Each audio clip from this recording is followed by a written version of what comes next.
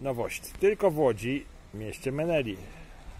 A z żydowskich to mały szczegół.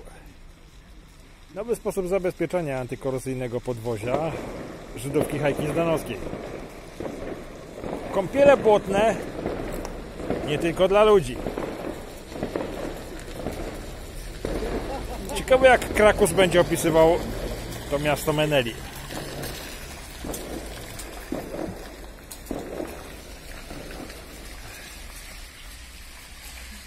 Tak zwane remonty po żydowsku, po zdanowsku żywego ducha.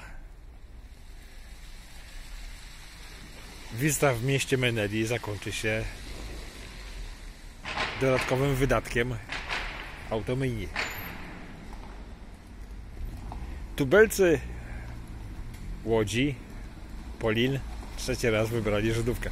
Fakt, że pół głosów sfałszowała, ale ktoś mimo wszystko na nią głosował. Szmygal. Jedyna firma remontowa w mieście.